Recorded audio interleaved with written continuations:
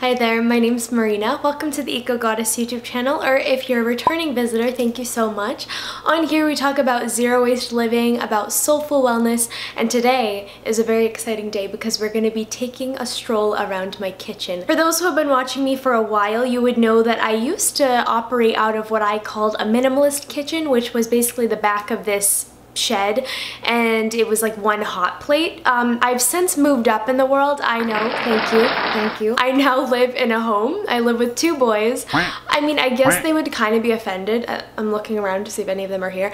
They would be offended if I called them boys, so I will call them men. They're in their late 20s. And they're gonna make a mess of things quickly. I cleaned the house yesterday because I did a collaboration with CBS News. They came here and did a whole story on the zero waste lifestyle and how I live zero waste, how I do it on the farm. So the house is still clean. I'm not sure if you can tell. I mean, this, this is awesome. I'm also not the neatest person. I definitely can make a mess of things and I'm good at cleaning up. Great at cleaning up, but when I'm like making a recipe or just doing anything, stuff goes everywhere and that's just kind of who I am. Today we're gonna be taking a stroll around my kitchen. I'm gonna show you how I maintain a low waste kitchen and the tools I use to do so. So keep watching if you'd like some awesome tips that you can implement in your own kitchen.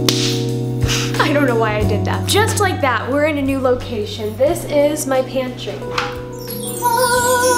I'm actually really proud of how it looks right now because I, I, just organized it. My top tips for maintaining a low waste, zero waste pantry is for your spices. I imagine you likely already have spice jars, whether they are plastic or glass. The next time you run out of a spice, head to the store with that container that's empty, get a tare on it, and if you don't know what that means or you don't know how to do that, I'll leave my video on how to do that below. Get a tare on the container and then fill it up with that said spice. So here we have some onion powder, onion, and we have some cardamom, which I use in a lot of my Pakistani recipes, or I'll put it in smoothies. It's you obviously can tell that I am a big fan of curries and turmeric because I have this massive, massive jar of turmeric that I bought in bulk and saved a lot of money on. When you buy in larger quantities, you're gonna save a dime. So that's my tip for you for your spices. Now for your bulk items, you wanna go to the store with your produce bags and then you want to fill them up with whatever it is that you wanna bring home. And in terms of containers, because I know that was a question that I had when I first went low waste, should I go out and buy all of these new containers?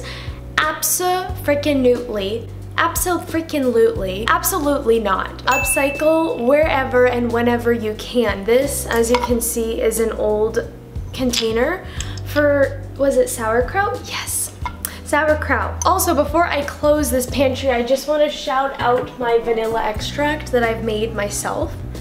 I know, I know. You're very impressed by me. I am impressed by me too so are my roommates. I cook a lot and I make all kinds of fun recipes and they love the vanilla extract. Now let's move on to a different counter space. I want to shut off this light because it's so bright, but I'm going to show you some kitchen essential tools that I use. Reusable silicone baggies. These are lifesavers. You will never need a plastic sandwich bag again that you have to throw away. These you can reuse over and over. They're dishwasher safe and actually I pulled some of them out of the dishwasher so sorry they're kind of dirty. I mentioned this when I was in the pantry but always upcycle containers, especially glass. These things last forever. And I love to store food in there, whether it's a soup or spaghetti, whatever it is. This is just a random container and an example of upcycle as much as you possibly can. Also, it's cute. It's very cute, right? And then another example of a container. Now this is Klean Kanteen. It's metal and it actually is double insulated so it will hold the heat. So if you're on the go and you have hot oatmeal or a soup or something, that's a really great tool for that. Moving on to the fridge. The fridge. Okay, I'm gonna have to take you down. Gonna have to show you. Um, I would like all of you to guess which which shelf is mine. A, B, C, or D. Your girl likes the D.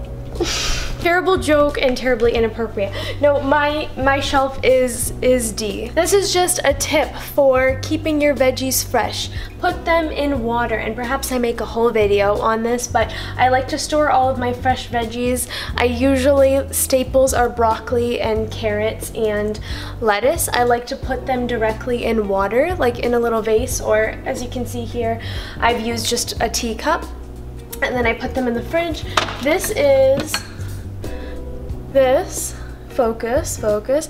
This is some homemade coconut yogurt. I also make my own granola and i will use this as a post-workout meal or a snack a late night snack.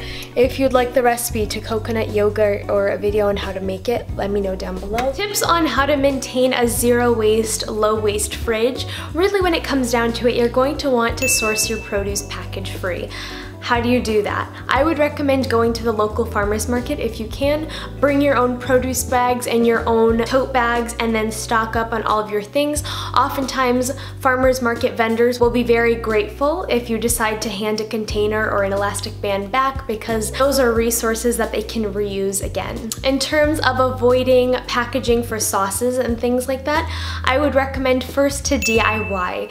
And I really love to do this. I'll DIY my own ranch or my own ketchup catch up and things like that. But I do also understand that times get busy. I can definitely relate to this. And so when I am busy in a week, I'll go and source a sauce from the store that is packaged, but I'll make sure that it's in a container that I can then reuse. Most of the time, I like to source any packaged product in a glass jar because glass jars I reuse in the home endlessly. Now onto our freezer. I don't have too many things in here, but I wanted to show you something in particular. First is that I like to freeze foods, especially ones that we grow from the farm so that I can eat them year round. You see passion fruit here, persimmons, so I like to do that. And then also this bag. Why am I showing you this bag? Because it's awesome. It holds all of our compost. So we've tried the bin, we've tried a lot of different things. Bin causes fruit flies, whereas the bag that you just throw in the freezer keeps it nice and frozen and no smell, no bugs. It's awesome, so that's what I would recommend if you want to have a compost situation. If you can't have your own pile, take it to the farmer's market or someplace that you can find locally that will accept your compost. Now moving on to appliances, zero waste appliances slash home tools. This is the first one that I wanted to show you guys. I love this thing. Okay, I didn't used to like coffee that much and I've now become a very big coffee coffee. No, I've become a very big coffee enthusiast and this is great. It's a French press that you can reuse over and over again. You grind the coffee beans, you stick them in there, you pour the boiling water, then you put this thing and you like shove it down and then bam, you got yourself some fresh coffee. And speaking of which, speaking of which, let me show you something amazing. Look at this, my friends. This is a vintage coffee grinder. And actually my, my partner, Joshua, he made this thing as in like he took the vintage thing and um, anyways, he actually, he made this wood thing. I don't know how to describe it. It's, it's like wood, wood artisan stuff, but look at that. could do this all day. It's honestly very therapeutic. Anyways, so you're gonna wanna get a grinder if you don't have a grinder. As for the coffee beans themselves, we do source them organically and fair tradely, fair trade, I think that's fine, just fair trade in bulk. We go to the grocery store. You can find Whole Foods, Sprouts, Jimbo's, a lot of places. If you're coffee lovers, buy your coffee in bulk. The next appliance that I just want to highlight is the blender.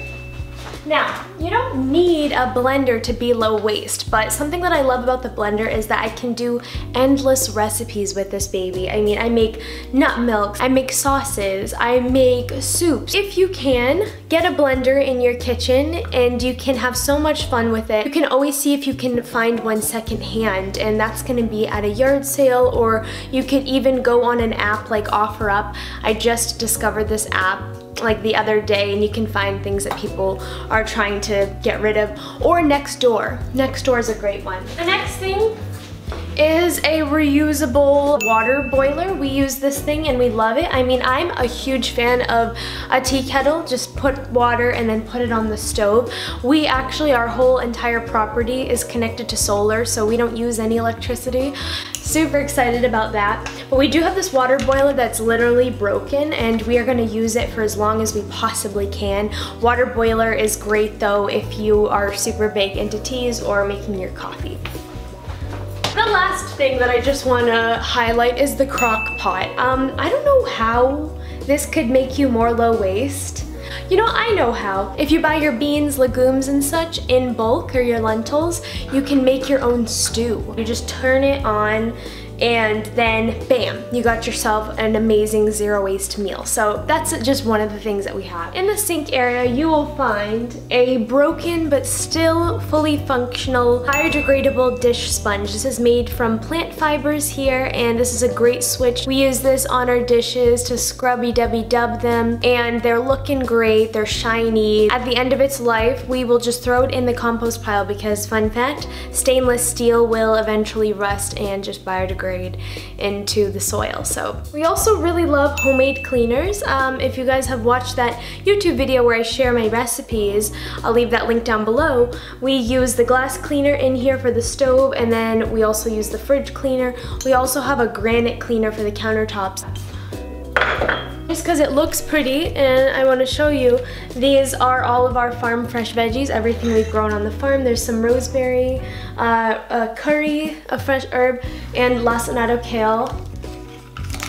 Oh my god. Never use a paper towel again. How you may ask? With the miracle of a reusable towel. I would recommend having two categories of towels. Towels that can get dirty and can take a stain or two, and then the nicer towels that you'll hang um, not like that, um, hang on the stove or something like that. You know, holiday towels and things like that. Lastly, soap. How do we clean our dishes, right? I'm sure you're wondering. I like to source our soap in bulk from the Nada Shop, which is a local zero waste store. If you don't have a zero waste store or a place that you can source your dish soap in bulk, package free, I'd recommend getting a very large thing of soap from the store. A good recommendation for a store like this is Costco. I know they have a biodegradable and eco-friendly brand there. Rather than just buying a lot of individual containers, containers. You can just buy a big thing and then perhaps reuse the container at the end of its life. Now in terms of pans and things like that, things to cook on, we like to use cast iron and you can probably see our two cast iron. We have a larger one and a smaller one right there.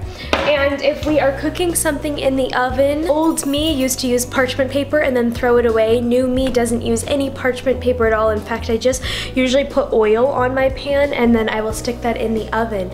However, if you want to invest in something that will last you a really long time, there are reusable silicone pads that you can use in place of parchment paper.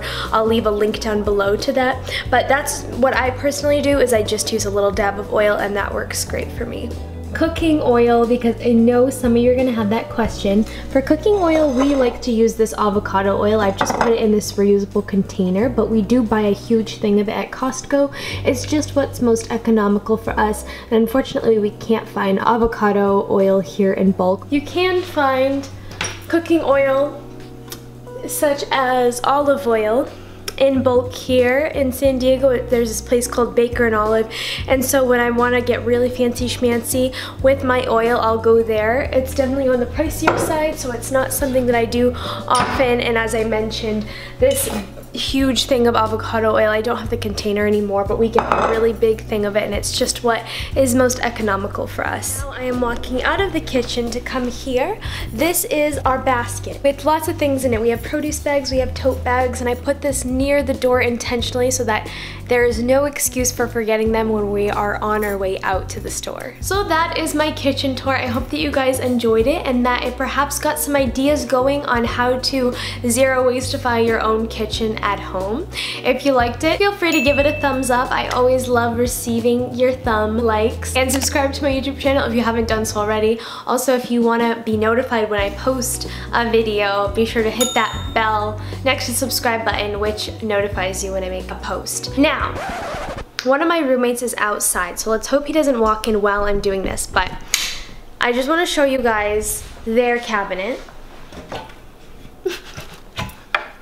this is literally like how I used to shop and I, am not shaming this. I'm not saying this is wrong even though it does kind of make me go crazy.